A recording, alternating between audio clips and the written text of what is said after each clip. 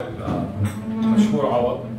I am a uh, businessman in uh, Delaware. I own the uh, uh, IHOP restaurants in, in Delaware.